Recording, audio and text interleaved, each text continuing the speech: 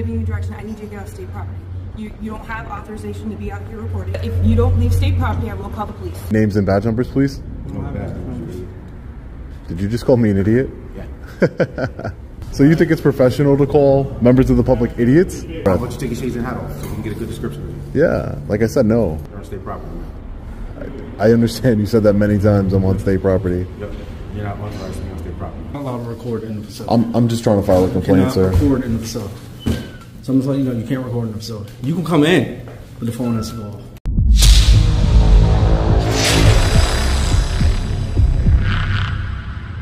Hey, what's up, guys? Long Island Audit here, back again with another video. Today's audit takes place at the correctional facility in New Haven, Corrupticate. A correctional officer contacted this platform and was able to get this video taken down shortly after it was released. We the people will not stand for censorship. Please like and share this video so the world can see what they didn't want them to their ignorance and tyranny. Let me know your thoughts on government censorship in the comment section below. Let's get into it. All right, ladies and gentlemen, before we go inside, let's take a look around. There is a public parking garage attached to the correctional facility. So let's go take a look around the facility here. So the New Haven Community Correctional Center has its own parking garage does not say anything about it being restricted to the public, so therefore it is publicly accessible. Purpose why you recording on state grounds? Excuse me, sir? Any purpose why you recording on state grounds? Uh, who are you? Any purpose why you recording on state grounds? Yeah, there is. Uh, Who are you? I'm just asking a question. Yeah, I'm just asking you one in return, sir. That's all. I just Yeah, want yeah, to yeah, no, ju- just want to know who I was speaking to. That's all. Yeah, yeah. You don't give me an answer, I don't give you an answer. Excuse me. Hi, you can't be on state property recording right now. Hi, how are you? Who are you? I'm Captain Atkinson. Captain But Atkinson. you And your names? Right now. And your names? Excuse me. I'm talking to you right now. Yeah, I I you to and, I'm just state just respectfully, recording. Cap, respectfully, Captain. I I just want to get their names. Can I get your names? Get their names. I'm the captain here. Right. And I'm giving you direction. I need you to get off state property. You you don't have authorization to be out here recording, so please get off state Who would I get? Who, who would I get authorization from, Captain? You? This is state property. No, Right. it's not me. But if you don't leave state property, I will call the police. This is state property. This is state property. I So it's public property. I need you to leave the premises right now. Otherwise, we're going to call New PD. Can you please leave the premises? You can call who you ever need to call, Captain. I just want to get their names. Um, Gardner. I, I'd like to get the names of everybody I'm speaking to, Okay. Captain. That's all. You have no authorization to be out here recording. I'm asking you nicely. Can you please leave the premises? I understand you're asking me nicely, and I appreciate you asking me nicely, but there, this is not a restricted area. I'm not breaking any You're on state property right now recording people's license plate. I understand that I'm on state property. I understand that people's license plates are in public view. Yes, and it's possible You're that not it's, authorized to be down here recording. So I'm going to ask you nicely again. who authorized me to be here. You don't have authorization. How would you know to. that? This is state property. How do you know I don't have authorization to be here, Call man? police right now. Grab your Bible. So you guys work for the state, the Department of Corrections? Okay. Exercising their rights to remain silent. Listen, man, you gotta exit the property, man. You gotta get out. I know what you're looking for. I don't. I'm not looking for anything. You could stay here, and I'll go about my business. I'm not looking for anything. Okay, you can, you can stay on the curb, if anything. Oh, I could stand right here. I could stand right here. Thank you, though. This is public property, right? Right? You don't want to answer that question? Okay.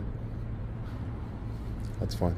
The captain can try and assert her perceived authority all she wants. It's not going to work on me. She's not even a law enforcement officer. I have my two bodyguards follow me around here. My man, you need to stay away from people's property. Those cars. Those are people's property. I need you to stay away from that. Stay away from what? People's cars. People's cars. Yeah, that's what you're doing right now. You're recording people's cars. You can't do that. Why couldn't I do that? Because you just can't. Just I just can't. There's no law or anything. Just I just can't. They're in public. Are these state vehicles or personal vehicles? Do you know? A mix of both? Sorry? What'd you say, sir? No, I didn't hear you. I would have heard you. I didn't hear you. What I said. No, I didn't. You said it under your breath. You heard exactly what I said. Let's take the shades off and hat off so we can get a good description. You... No, You're on state property now. I understand. You said that many times. I'm on state property. Yep. You're not authorized to be on state property. Who who says that? You're not authorized to be on state property. Who do I need to get authorization from to be on taxpayer-funded property, sir? Do you know who I'd go seek that permission to exercise my rights and hold my government accountable and promote transparency?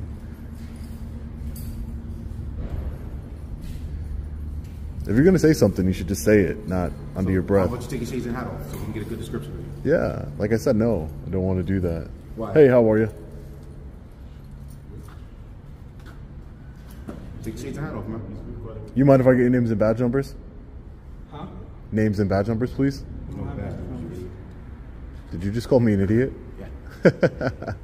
Okay, that's fine. Na- Can I get your name, please? My name's on my shirt. Your name's on your shirt. Okay. Excuse me. Let's get out of the way. You know, don't want to be standing in the middle of the uh, parking garage. So you think it's professional to call members of the public idiots? What is the, what is the reason y'all state I'm. I'm talking to this gentleman right here, right now, sir. I'm Just- I understand that. So do you think it's do you, do you think that it's appropriate to call members of the public idiots? I think it's appropriate that you take your hat and your uh, glasses off so you can Well, get a, so that's get a fine. description you. You can you can think whatever you want, but I'm I'm asking you as a public servant, do you think that it's appropriate to call a member of the public an idiot? Do you think that's professional, cordial? What I don't think what is the so. I'm not calling you names, am I? I'm sure I can call you a bunch of names, but I, I won't. What is the reason you're filming? So at this point, I'm gonna exercise my right to remain silent. I don't want to speak to anybody. I already spoke to a captain. I don't know what's what's your rank here. Are you above a captain or below a captain? Because I already spoke to the captain. I'm not above or below. You're not above or below. To the side. Whichever one you want to. I'm just asking you, sir. That's all. I'm You to came. You came over here. I understand. I said you came over here to speak to me, so I'm just engaging conversation with you, sir. That's all. I just would like to know your rank. That's it. Every question I ask, no one wants to. No one wants to answer me. so why should I answer any of your Rank's on my questions? Your rank's on your shirt. Okay. All right. You going You up? guys, ex- you guys expect me to answer all your questions, but you don't want to answer any of mine, I mean, it's and then you want a name call. It's vice versa because I asked you. I'm not calling you names. I'm not escalating. I'm not. I'm asking you questions. And okay, and I asked you a question. You didn't answer it. Either. Right. So I guess we're just not going to answer each other's What do we questions. Then. I'm sorry. What do we have to stalemate? Yeah, we're at a stalemate. Right, sir. You're right. You're right. Saying things under your breath that nobody can hear. It's just unprofessional. You know. If if you're going to say something, have the guts to say it. He said he called me an idiot right to my face. Why couldn't you say what you wanted to say to my face? Not good to talk about talk about people behind their back. It's like a it's like being a coward, you know. That's all.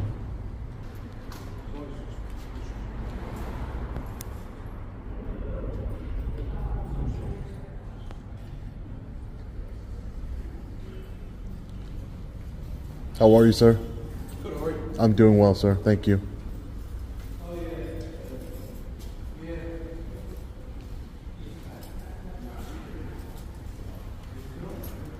Excuse me. How would I file a complaint against an officer? Does anybody anybody know how I'd file a complaint against an officer? Captain? Maybe you'll know. Hey, Captain.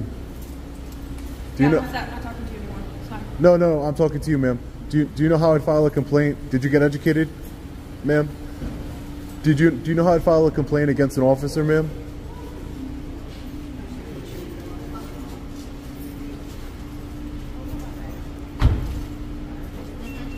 Captain, you know how I'd file a complaint against an officer? One of your officers called me an idiot. I think that was very unprofessional of him. So no answer on how do I file a complaint. There's got to be a complaint process. Well, Captain, I'm glad somebody educated you. Maybe be a little more cordial. I'll just come inside and uh, file that complaint, I guess. Beautiful American flag, freedom. Captain got her education today.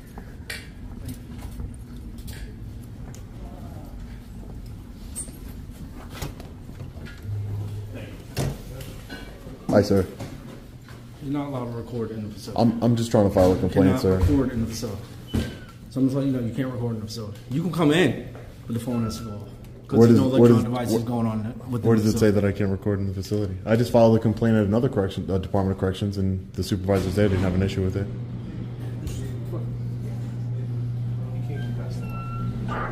It's a public lobby, sir.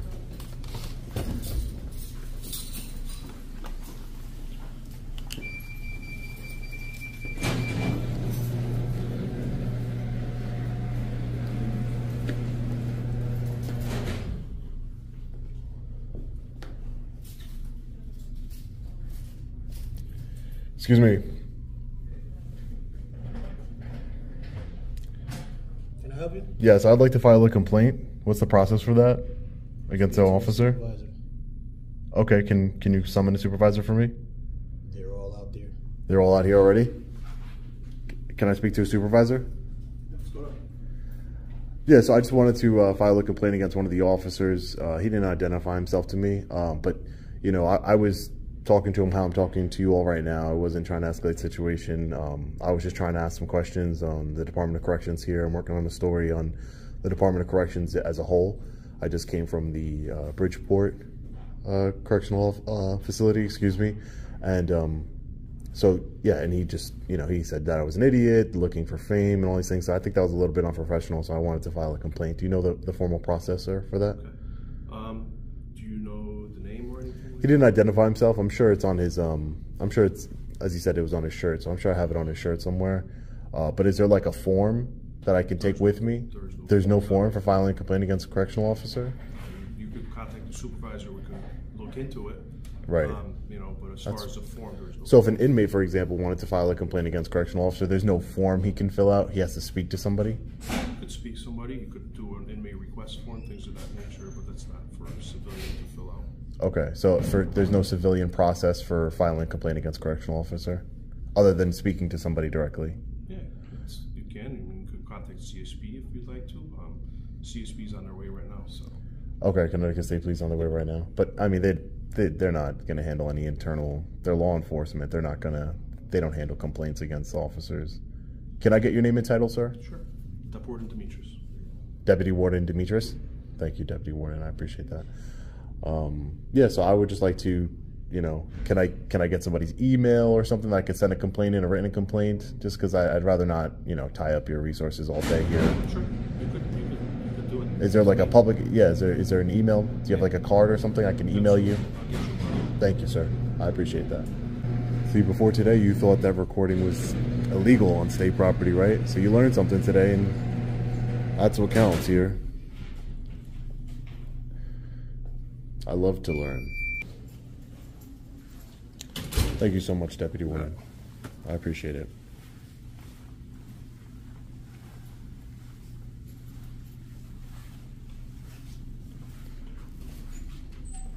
Have a great day, sir. Have a great day, ma'am. Thank you. Appreciate it. All right, ladies and gentlemen, we're not going to hang around all day. We have our contact information for the. He gave me the contact information for Christopher Brunel, the warden here, the New Haven Correctional Center. He said the Connecticut State Police are on the way, but I don't really want to wait for them. I didn't break any laws, and I wasn't prevented or kept out of any publicly accessible area, so there's really no need for them to come here. Just a big waste of resources, if you ask me. But definitely started off really shaky, ladies and gentlemen. Really, really shaky. Approached by, you know, the captain, some officers who wanted to call me names. I mean, like that's really going to affect me calling me an idiot or whatever you say. I mean, I have pretty thick skin. Really doesn't matter to me. Just unprofessional and, you know, as a public servant, you should treat the public with respect and dignity and there's and respect their constitutional rights. But there's no excuse for treating somebody that way, especially when you're receiving taxpayer funded salary. So we'll follow up with the warden and issue a complaint against the officers. The captain escalated the situation. Luckily, the deputy warden, Dimitri, he was very knowledgeable on our constitutional rights, I would say. He came in, de escalated the situation, called off the officers who were following me around like, you know, my bodyguards. And when I went to go inside, another officer stood up right in front of me and said, You can't record inside of the public lobby. And again, the deputy warden had no issue with me recording in the public lobby, as he shouldn't. Transparency and accountability, right, ladies and gentlemen?